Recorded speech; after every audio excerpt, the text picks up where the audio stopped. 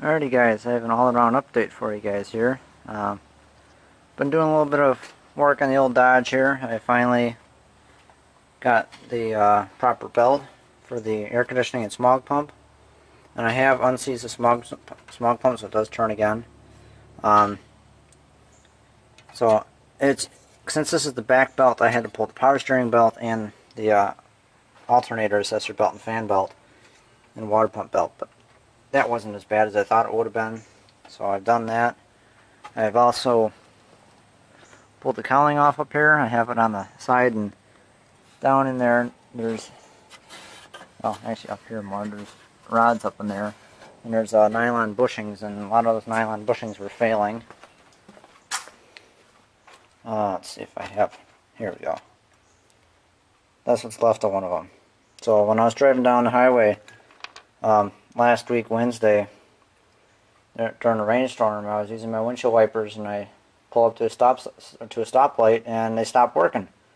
My switch is still on and I can hear the motor humming but nothing was happening.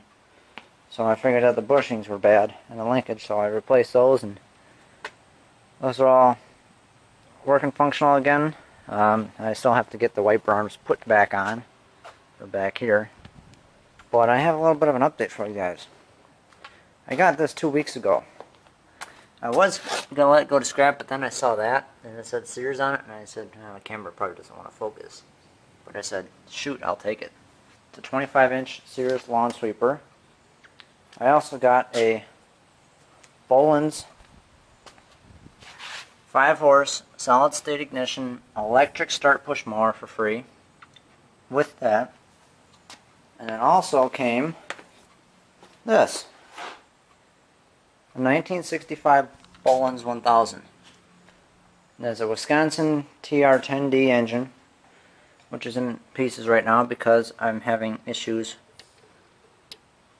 You can see that this is this would be the compression stroke right now, and that valve is still turning. Now I know it's the compression release is functioning right now, but the oil is so sludgy in here. I'm thinking the compression release is stuck on, so it'll only run for a little bit, and then once it heats up, the valve opens a little bit more and more and more, and then it eventually dies.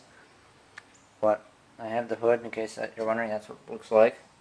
And I also got a, aren't all these rags, a, snowblower attachment for it.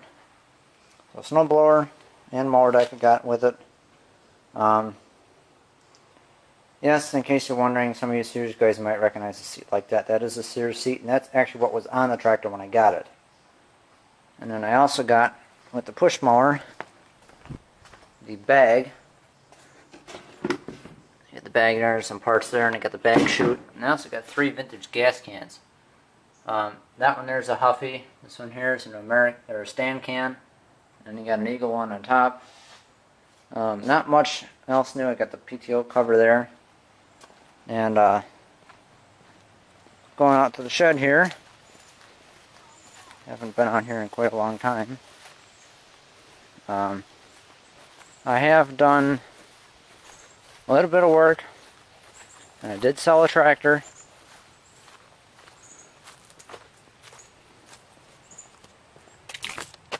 And some of you may be wondering, well, what tractor was that? That was the 92 Noma built Craftsman all-wheel steer. I sold that, that's gone. The Bolens is either going to go here, or if I can, I'll keep one tractor in the garage, and I have a secret a very top secret secret that I might get. But I have put the mower deck back in the 68 and you can see there's some fresh grass in there. I just mowed the backyard at this thing yesterday and it did well. Minus that still mysterious engine knock that I can't figure out.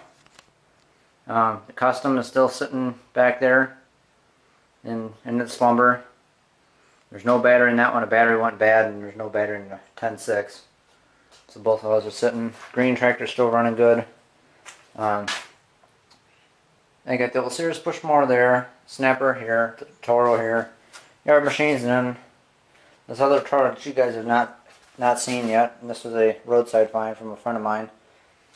This thing, th these quantum power engines, boy, those things are nice. This thing runs impeccably well, and I don't know if I really want to get rid of it, but I really don't have space. Because obviously, if I want to put a tractor in here, I got to save room for chairs in the wintertime, but that's really the only space I have left for a tractor, and that push mower can't stay there. And I do have two two push mowers in the garage I'm working on getting rid of. But that's pretty much the update from here, guys. So I'll leave you with this.